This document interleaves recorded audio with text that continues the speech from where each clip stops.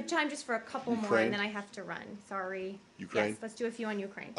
So the president and uh, President Putin spoke today, according to the White House and according to the Kremlin. Um, I won't ask you about that call unless you want to say more than what the White think House I'll already punch said the about White it. House. Okay, you've seen that the Russian, uh, the separatists, the rebels in the east, have said that they will respect or that they plan to respect the ceasefire. I presume We've you seen think those this is claims, but again, actions have to back up the words. Will four Okay, days have- Make a difference?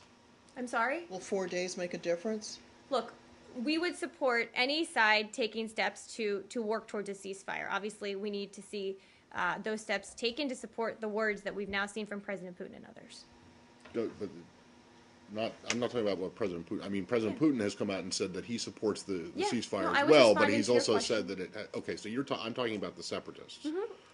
As I said, there are words out there people Right. have spoken about Okay. supporting the ceasefire, but we haven't seen actions taken to back that up Okay, yet. have you seen uh, any, uh, uh, in terms of actions, what have you seen? Has it gotten worse? Yes. Has it gotten, It has, in, in some respects. We have seen evidence of continued Russian military support to the separatists and a new ongoing buildup of Russian forces on the border. okay, um, on Friday, there was discussion in here and in a conference call with a senior official about Russian tanks moving or having left, or be, they were being prepared at a site in southwest Russia, and then uh, there were indications that some of them might have left that site.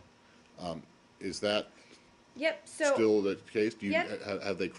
Are you aware that they have gone into Ukraine? Uh, right, and as we said, I think last week on June 13th, Russia sent tanks from a deployment site in southwest Russia into eastern Ukraine, and we have information that additional tanks have been prepared for departure from the same site. Um, on June 20th, the OSCE reported eyewitness accounts seeing um, a military convoy of unknown origin driving through Luhansk city. This convoy included tanks and armored personnel carriers. We also have ground photos from the destroyed BM 21 multiple rocket launchers in Luhansk uh, that the launcher originally belonged to a Russian motorized rifle brigade. So there's a host of information that tanks, rocket launchers are crossing the border from Russia into Ukraine.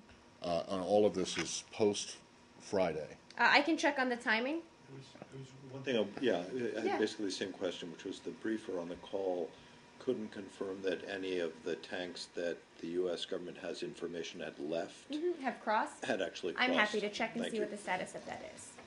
Um, and is it still your understanding that that reports uh, in Russia of um, you know enormous amounts of refugee flows are, are incorrect? Incorrect. Yes. Okay. Still our understanding.